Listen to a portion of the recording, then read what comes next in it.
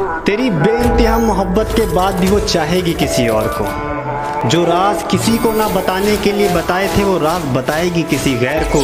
और सिखा रहे हो उसे स्कूटी तो फिर एक बात जान लो, सीखेगी तुमसे मगर बैठा के चलाएगी किसी और को।